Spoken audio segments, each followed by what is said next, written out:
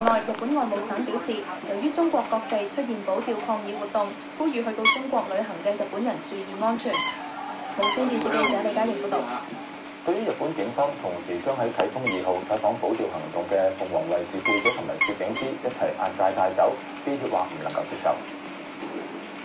喺啟豐二號船上採訪保釣行動嘅鳳凰衛視攝影師，被日本警方帶走嘅時候被鎖上手扣，同同行嘅記者一併同保釣人士被押解帶走。鳳凰衛視深夜發聲明，對日本警方嘅做法表示嚴重關注。佢哋批評日方採取粗暴嘅方式對待兩名記者，咁樣唔單止係對媒體。